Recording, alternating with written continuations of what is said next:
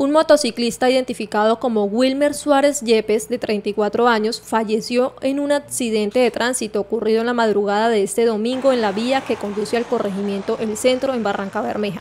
El siniestro tuvo lugar alrededor de las 2 de la madrugada. Suárez, residente del barrio Villanueva en la Comuna 3, trabajaba como electricista para una empresa contratistas. Las autoridades de tránsito y transporte de Barranca Bermeja se encuentran investigando las causas del accidente que ha dejado una familia de luto en la ciudad.